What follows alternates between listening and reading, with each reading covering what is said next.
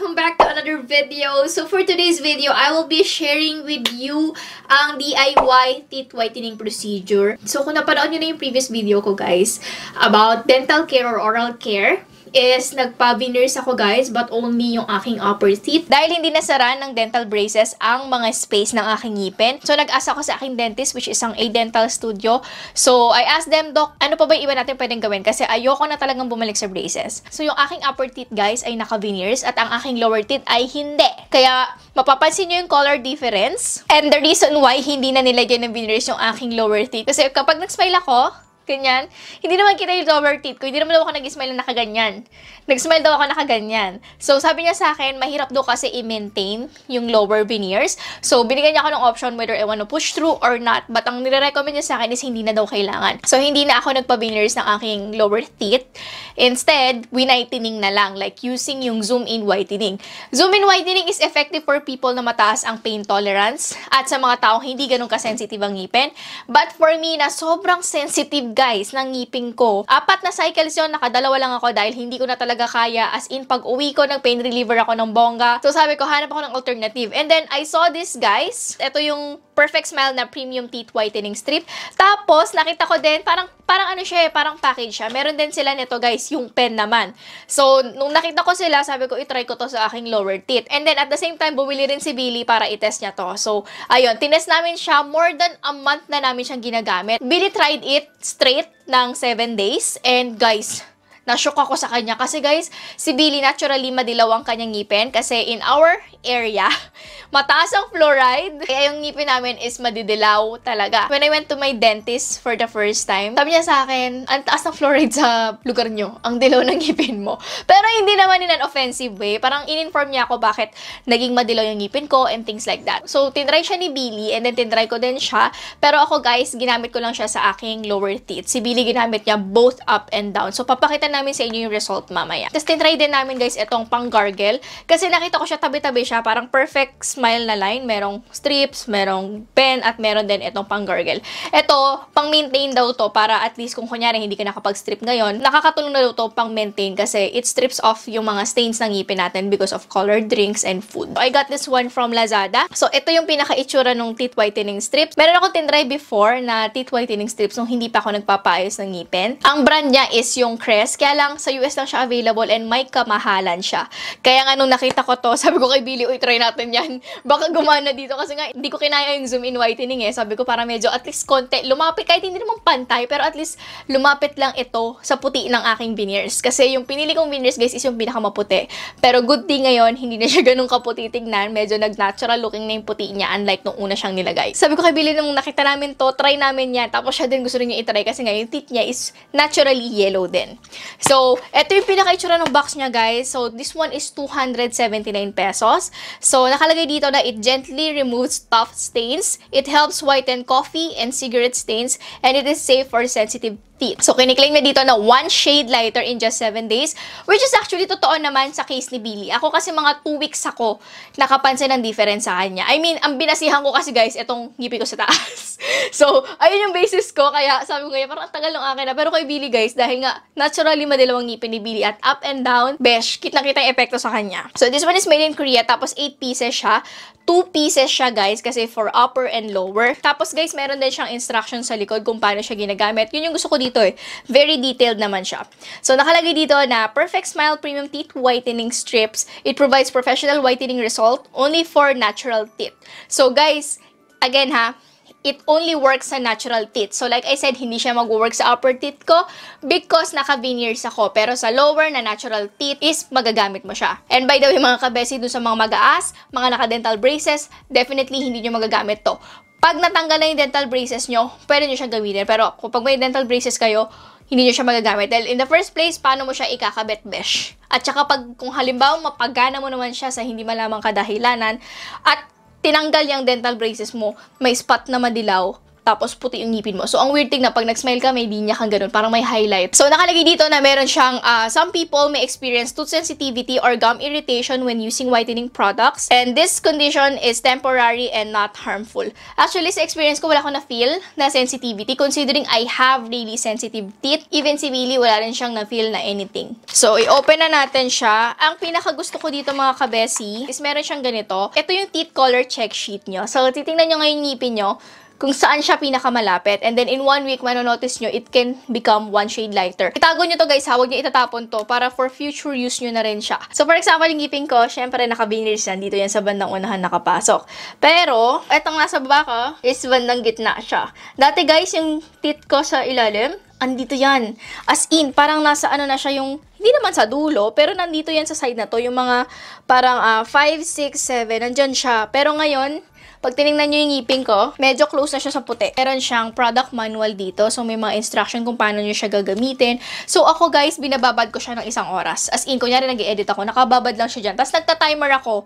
Utang na loob mag-timer kayo kasi baka mamaya pag nasobrahan kayo, baka dyan na mangilo or maging sensitive yung ngipin nyo. So, ayan guys, merong instruction dito. That's the very good thing kasi DIY nga siya. So, kompletong-kompleto yung details niya. So, yung mga kadalasang tinatanong dito mga kabese is number one, I have sensitive teeth. Will this work for me? Yes, nakalagay sa instruction nila, ako, I have sensitive teeth, pero wala naman ako na-feel or anything. And then, para kanino ba tong mga teeth whitening strips na to? Mostly, sa mga tao na heavy drinkers ng kape, ng cha, or any colored drink, like me, guys, sa totoo lang, for example, ito, milk tea, sa totoo lang, sobrang coffee drinker ako and gusto ko yung coffee ko is either black AF or uh, basta dark AF. Kasi ako, feeling ko nga nananalaytay sa ugat ko, hindi dugo, kundi kape. Kasi guys, sa isang araw, nakaka 2 cups ako ng coffee. Before, I used to have 4 cups of coffee. And then, I started palpitating. I started having skip beats. So, ngayon, maximum na yung 2 cups a day. Sa umaga, isa sa hapon yan. Isa rin sa common na tinatanong na okay lang ba na malunok mo yung laway mo? mo? Yes, it's definitely safe. Pero yung strip, guys, huwag nyo namang lunukin ha. Utang na loob. And next, mga kabesi, is yung white spots. Yes, pwede ka magkaroon ng white spots, pero temporary lang siya, guys. Parang reaction lang siya with the hydrogen peroxide. Kasi merong hydrogen peroxide to, guys, which is yung ginagamit na pang whiten ng teeth. So, it is normal. Kasi si Billy, guys, nagkaroon siya ng ganun. Pero after few more usage nito, is nawala din siya.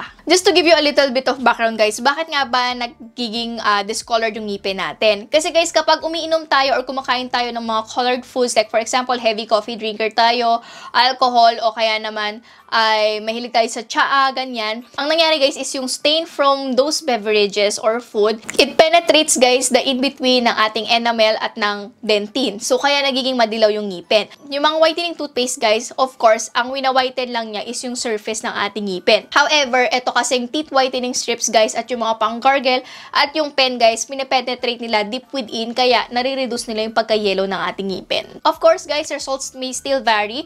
For example, sa case ko, mga 2 weeks ako bago nakapansin ng difference. Si Billy in a week nakapansin kagad siya ng difference. So, depende rin yan guys kung gaano ka dilaw yung ngipin natin para makita tayo ng results sa kanya. No, after namin siya i-test ni Billy for 2 weeks is we stopped drinking uh, coffee for a week. As in talaga, Diyos ko, pigil na pigil kami hanggang tubig lang talaga kami. Pero after a week, nag-continuous na ulit kami mag-coffee. Pero gumagamit na kami ng parang maintenance which is yung pang-gargle. So, ito mga kabesi yung pinaka-whitening strip. So, it contains 4. So, total of 8 siya mga kabesi. So, meron siyang dalawang strips. Isa for the upper teeth, isa for the lower. So, ako guys, matipid sa akin. Kasi si Billy, dalawa nagagamit niya. Ako, isa lang. Kaya, every other day ko siya ginagamit. So, binababad ko to ng uh, ah, 60 minutes sa aking ngipin, sa lower teeth. So, you'll just remove this, guys. Sobrang dali lang naman niya ikabit. And, ang ano lang dito, guys, ang ginagawa ko, kasi minsan, syempre, no, may lawa yung bunganga ko ginagawa ko, dinadry ko muna siya. I get a tissue, tinatap ko siya dun sa ngipin ko, dun sa surface kung saan ko ikakabit to, tsaka ko siya ilalagay para talagang kumapit siya. And it's okay guys, magsasalivate ka talaga, hindi mo maiiwasan, may times na medyo gagalaw siya. So, i-ano mo lang, iporma mo lang siya ulit and then just let it sit for 60 minutes Kasi nako, minamax out ko 60 minutes. Pwedeng 30 lang. Kunyari, sensitive yung ngipin mo. Like, may nafe-feel kang discomfort or nangingilo ka na. Pwede mo naman tanggalin na. Pero ako kasi talagang max ako 60. Pero do not go beyond 60 kasi baka mamaya maging masyado ng sensitive yung ngipin mo sa kanya. So, mga kabesi, halimbawa, kasi may mga times na hindi na ko cover lahat. For example, ako, na-cover ko to. Pero minsan, hindi pa rin pantay yung pagkaputi niya. So, meron silang whitening pen. Dito, tuwan-tuwa si Billy. Ako kasi hindi ko siya masyadong ginagamit. Kasi parang sa akin, saktong-sakto siya sa baba. Eh, kay Billy kasi, kasi minsan hindi pantay yung kulay. Kasi syempre iba-iba yung size ng ngipin natin, 'di ba? Ito guys is ano siya, tinutwist siya. So silicone siya, itong pinakataas niya. So tinutwist mo siyang ganyan, tapos lalabas ngayon guys yung whitening gel, tapos i-apply mo lang siya dun sa areas. Kay Bile ginagamit ito mostly dito sa yung mula sa pangil yung area na yon kasi dun yung parang hindi masyadong pumantay yung kulay. Yung harap niya kasi is pantay. Kumbaga pantay yung pagkakaputi. Yung dito kasi sa gilid niya is hindi masyado. So ito yung ginagamit niya. And actually ginagamit ko siya dito sa bandang sa area na to, yung mga hindi masyadong abot ng whitening strip. So, ang ginagawa namin sa kanya, guys, is, uh, kukuha lang kami ng product, twist, you just keep twisting it hanggang lumabas yung product. At kapag lumabas na yung product, guys, apply mo lang siya. And after you apply it, you wash this with warm water. And then, i-dry mo siya, tapos, tsaka mo siya i-store para lang hindi mag-accumulate guys yung bacteria. Ito guys, sobrang tuwang-tuwa ako dito and ano siya, hindi mapakla yung lasa niya. Meron siya medyo may minty feel siya sa kanya. So, ito guys, if may mga specific area ka lang na gusto i-whiten, you can definitely go for the pen. Pen yata is either 229 or 279 siya. So, check nyo na lang guys sa Lazada. I'm gonna put all the links guys in the description box so i-check nyo na lang siya. Mula nung nag-stop kami gumamit guys ng whitening strip, ito na yung ginagamit namin. So, everyday pinanggagargle namin siya kasi it helps in uh, whitening din the teeth, in removing the stain. Kasi yun yung pinaka-problem namin dahil nga coffee drinker kami. Ang lakas talaga mag-stain sa ngipin ng kape. Ito yung ginagamit namin every other day. Kasi 25 siya, so every other day namin siya ginagamit. So, uh, in-order lang namin to online kasi madalas wala siya sa Watson. Sold out siya lagi sa Watson. So, sa online kami mo order sa may Lazada. Na-notice ko rin dito, ang fresh niya sa bibig. So, ako every morning ko siya ginagamit para pag may meeting ako, di ba, parang, hi! parang fresh! Fresh na fresh talaga yung bunga ako aside sa nag-toothbrush ako magagargle pa ako nito. Isa pang benefit niya guys, it's it improves the health of the gums. So, mas healthy yung gums mo, mas malinis yung ngipin mo, at nakaka-fresh din siya ng hininga. So, 3-in-1 siya for me. So, wish ko lang guys, sana magkaroon ng ganito na nasa bote para mas madali, ba?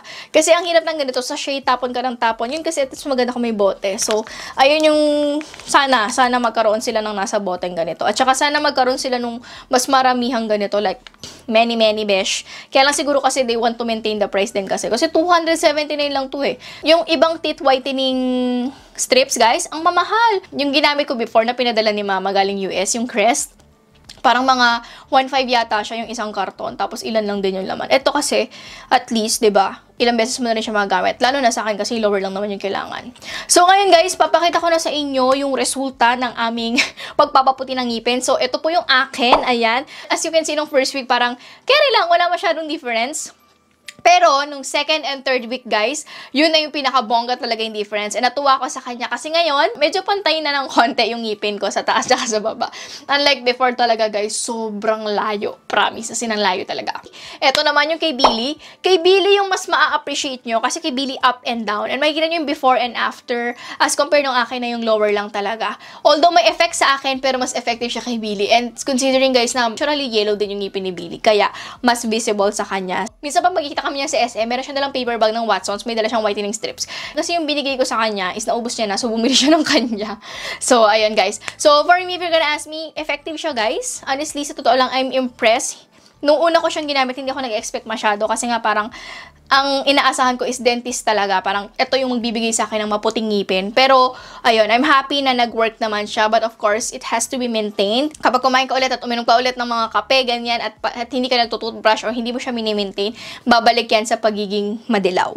So, ayun lang guys. Um, ako naman, hindi naman ako nag-achieve ng super duper na mapantay niya. Basta at least malapit lang. Para at least kapag nag-smile ako, medyo, alam mo yan, pantay pa din yung kulay niya. So, ayun lang mga kabesi ang ating video for today. So, available pala ito sa mga SM department stores. And available din siya sa Lazada. So, I'm gonna put the link guys in the description box kung saan nyo siya pwede i- purchase. So, ayun lang. Sana nakatulong tong video na to sa inyo mga kabesi. But again ha, mas maganda pa rin mga kabesi na kung nakaramdam kayo ng anything sa una yung gamit, stop it. Kasi baka mamaya may allergy kayo or irritated na yung gums nyo, tinuloy nyo pa din, wag na. Stop it, okay? Iba-iba pa rin guys ang resulta, case-to-case basis pa rin yan.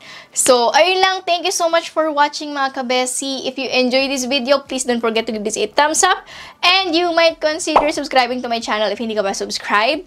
Pwede mo rin ako i-follow sa aking mga social media accounts. I am Ilayag on Instagram, Facebook, and Twitter. Again, thank you so much for watching and I'll see you on my next video. God bless us all, guys. And bye!